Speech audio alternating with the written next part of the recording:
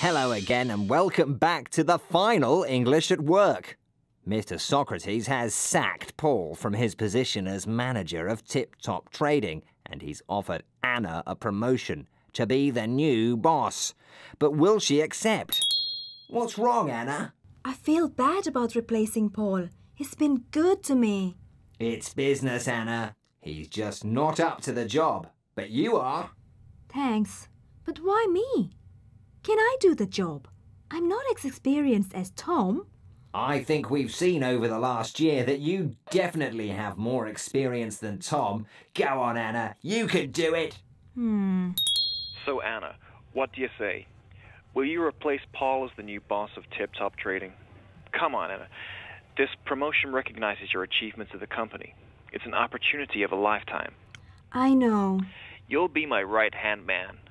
I think he means right hand woman. It means you'd be his most trusted and invaluable assistant. I see. Anna, if you need time to think, you could say, Thank you for your kind words, and could I have time to consider your offer? Hmm. Mr. Socrates, this news has come as a bit of a shock. Thank you for your kind words, but please could I have some time to consider your offer? Oh. Okay, Anna. But please don't leave it too long. I have a habit of changing my mind. Okay, Mrs. Socrates. I mean, Brad. I'll call you back soon. Bye. Oh, has Mr. S offered you Paul's job by any chance? Yes. And you said you'd think about it? Yes. I'm not sure if I can take on that much responsibility. Oh, it's easy peasy. I could do it standing on my head. But he's not offering you the job, Tom. Please don't mention this to Paul. Not yet. He's very upset. I know nothing. You know nothing. About what? I mean, I'll remain tight lipped. I won't say a word until it's all official like. You can count on me. You can count on me. Huh? You can count on me. That was the message with that bunch of flowers someone sent me. It was you, wasn't it? Well, well, um, I suppose, yes. It was me, Anna. I couldn't help it. I. I love you, Anna. Do you know what, Tom? I quite like you too. I think you're sweet. now, come on and give me a kiss. Oh, crumbs. Shall I come back later? No, it's okay, Paul. We're just getting to know each other a bit better. In fact, Anna, I'd like to ask you something.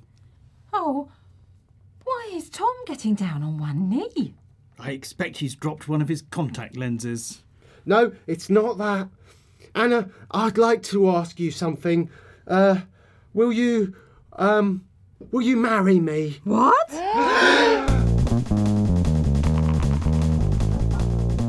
Crikey! What a dilemma! Now Anna's got two important questions to answer. Will she take the job as Tip Top Trading's newest and youngest manager? And will she marry Tom? Here's a reminder of what Mr. Socrates had to say about her. This promotion recognizes your achievements at the company. It's an opportunity of a lifetime. You would be my right hand man. And if Anna accepts the job, here's what she could say. I'd be delighted to accept. Thank you. When would I start? Could we discuss the terms and conditions of the new job? Let's find out what Anna has to say. Oh, Tom, I don't know what to say. It's come as a bit of a shock. Can I have some time to think about it? Well, um, yeah, I suppose. Well, while you think about that, I've got some good news. I've been offered a new job. That's fantastic news, Paul. What is it? It's to be head taster at a company called Better Biscuits. That's fantastic news, Paul. Yeah, well done, Paul. That's right up your street. So, Anna, does that mean you'll do Paul's job now? No, wait, don't answer that. Answer my proposal first. I think Well, it's up I- to I Anna think to say does what she She should be wants. I th- no, I've been waiting should to ask her for months. First of You've got to give the girl a We chance. need some more red pens. Quiet! Look, everyone, I can't decide what to say to you, Tom, or Mr. Socrates. So I've decided I'm going to take a short holiday to have some time to think. Good idea. Where shall we go? On my own, Tom. When I return, I will give you my answers. Oh, Crumbs. Might as well go and get a biscuit. A good idea, Anna. But we're going to have to wait a while to find out what she decides. She needs a rest after learning so much during her year at Tip Top Trading. We hope you've enjoyed learning with her and now feel more confident in using English at work. That's all from me and the team at Tip Top Trading for now. Until we meet again, bye!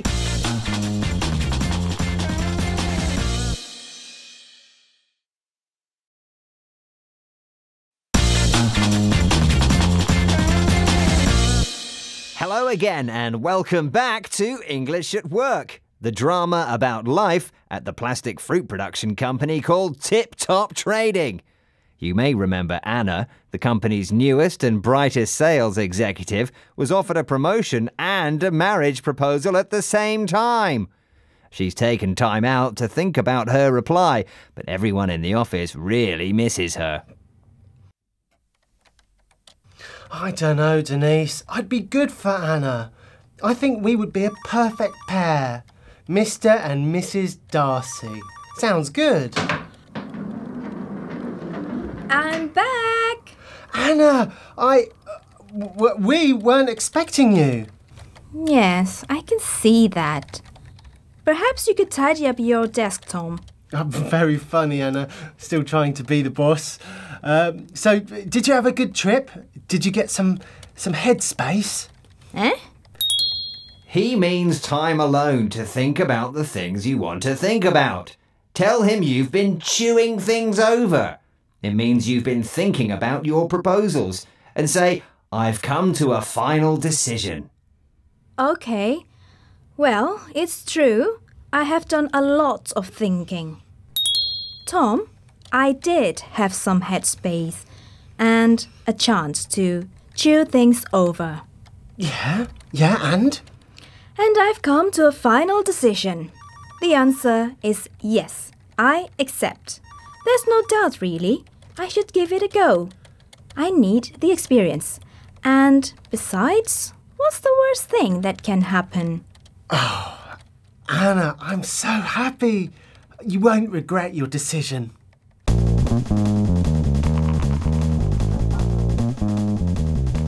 Hmm. Is Anna really saying yes to Tom's marriage proposal, or has there been a misunderstanding? Here are some of the phrases we've heard today. I've had a chance to chew things over. I've come to a final decision. I'll give it a go. You won't regret your decision. Find out if we can look forward to Anna and Tom's wedding in the next episode of English at Work. Bye!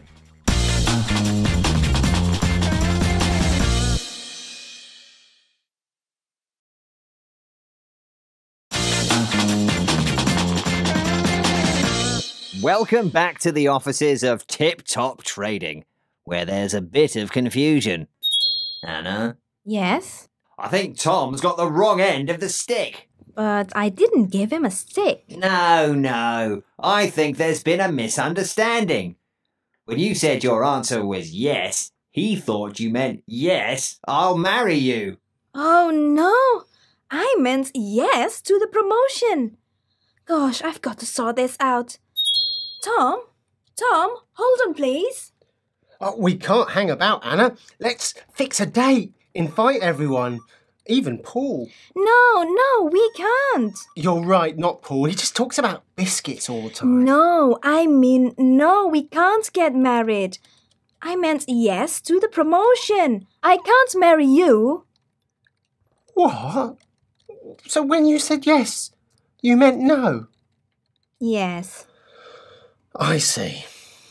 Right, that's it. Anna, I've made it very clear what I think about you, and you, you just throw it back in my face. I've had enough Enough of you. Enough of this company. I quit. Anna, I think he's upset. He's having a tantrum. A tantrum? Is that serious? Not really. Maybe you need to calm him down and make him change his mind. Tell him not to be too hasty. Don't rush into a decision. And say, we can work this out. You can, can't you? I think I can. Tom, please, don't be too hasty. Let's talk about this. We can work something out. Just don't rush into making a decision, please. You're my best, uh, my only sales executive. Sorry, Anna. I'm a free spirit. I must go where the wind takes me. You've had your chance, and now it's mine. I'm off. Wow, I've never seen Tom be such a man. Will this be the last time we ever see him? Here are some of the phrases Anna used to try and get Tom not to leave. Don't be too hasty.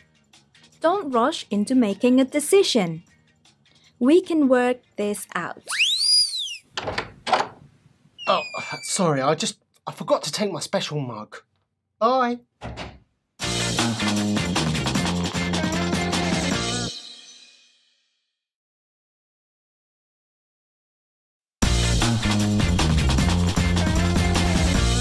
Hello again.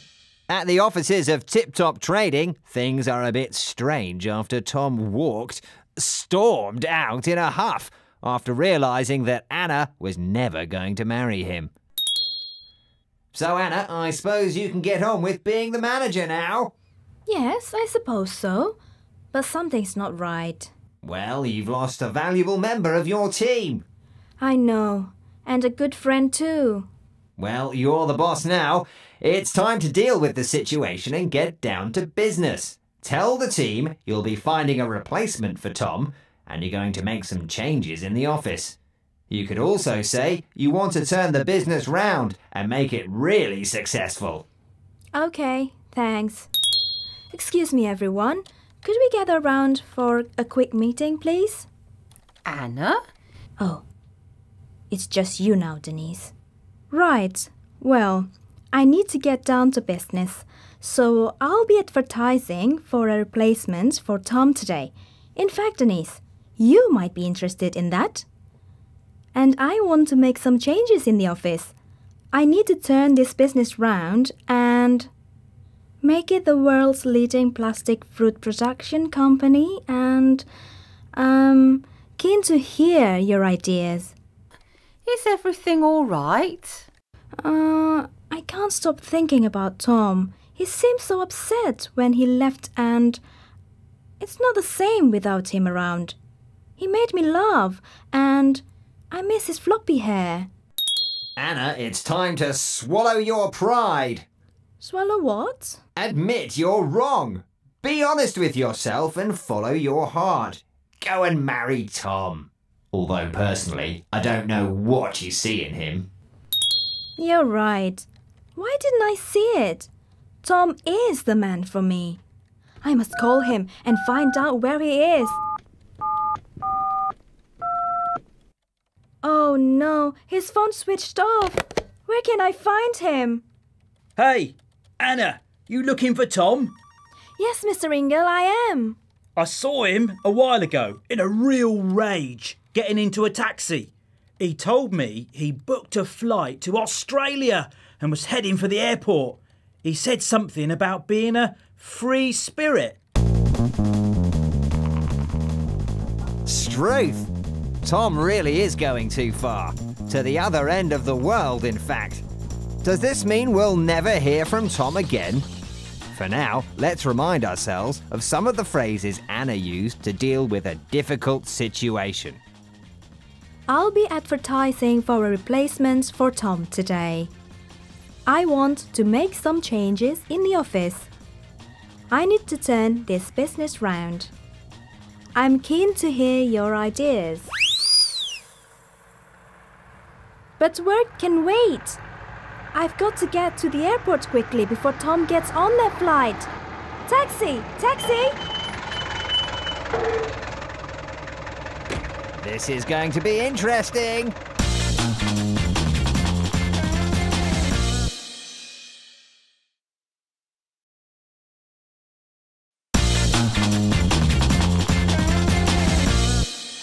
And welcome to English at Work, where things have got rather dramatic.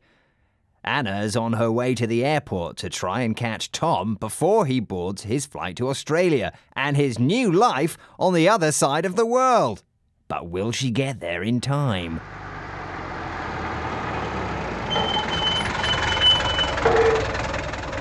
Thanks. Excuse me, do you know where the check-in desk for flights to Sydney are? Oh, yeah, over there, love. Desk number 47. Okay, thanks.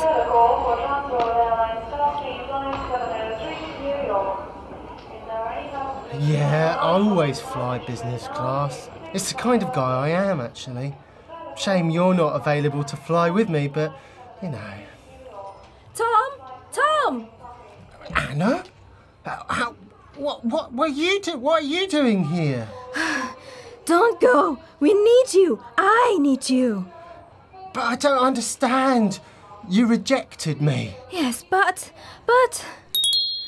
But what, Anna? What are you going to say? How can you tell him you were wrong and you've changed your mind? Hmm, I don't know. Tell him I've been doing a lot of thinking. Say, I didn't realize how much I missed you until you'd gone. Yeah, and tell him I've changed my mind. I will marry you. Yeah, yeah, I heard all that. And that other man who you were always talking to. Oh, right. I see. Well, Tom, will you marry me? Why should I? After all you've put me through. Yeah, why should he? Because, Tom, you're a funny guy, and I love you, and I can't live without you. Ah. Let me think about this. UAC flight 561. Oh, okay. If you put it like that, yes, I will marry you. Oh, Tom.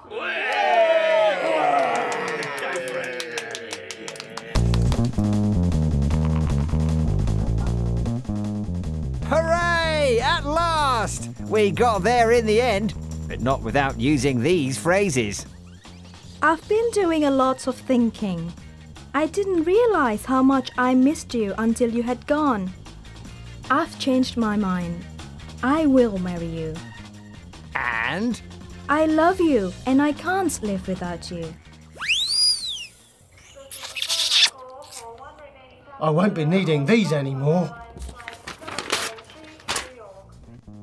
Join us very soon for the English at Work Wedding of the Year. Bye!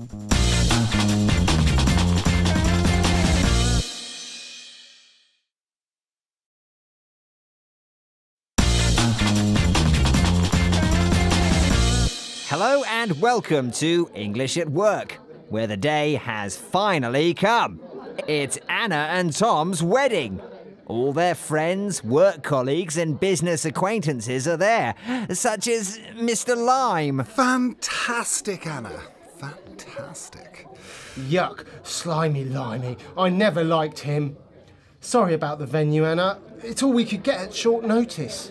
I think the office at Tip Top Trading is an ideal place for a wedding. Anna, my favorite girl. I got here as fast as I could. I thought I was the only man for you, but I guess Tom has stolen that title. Your choice, Anna. Your choice. Oh, hello, Mr. Socrates. This is a nice surprise. Come over here and say hello to Tom. Hey, Tom. Oh, hello, Mr. S. Nice to see you. You're not doing any firing today, are you? Of course not, Tom. In fact, as a kind of wedding present, I wondered if you wanted a new job. I'm offering you a chance to manage my new office in Paris. Me? Manager? In Paris? Well, Mr. S. Tom, aren't we about to get married? Start a life together? oh, yes. Um, thanks, Mr. S, for your kind offer, but I will have to decline. I'm about to spend the rest of my life with this wonderful woman. Ahem, uh, ladies and gentlemen, please could you take your seats? The marriage ceremony is about to begin. Okay, ahem. do you, Anna Jane Wijaya. Out of the way! Give me that paper. Do you, Anna Jane Wijaya, take Tom, Brian, Farquhar, Darcy?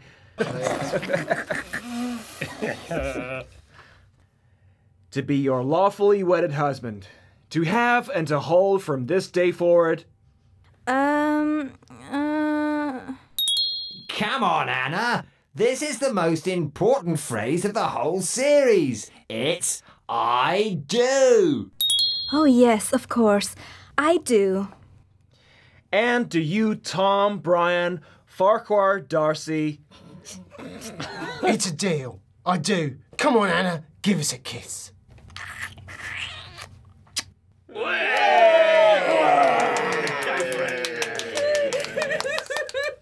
Oh, Denise. Ah, looks like Tom has signed the best contract of his career. But not without these phrases. Thank you for your kind offer, but I will have to decline. It's a deal. I, do. Thanks to everyone for making this a special day. If it wasn't for Tip Top Trading, I wouldn't be starting a new life as Mrs. Wijaya Darcy. Wijaya Darcy. Uh, shouldn't it just be Mrs. Darcy? I'm the boss now, Tom, at work and at home. Congratulations to Anna and Tom. We have a happy ending.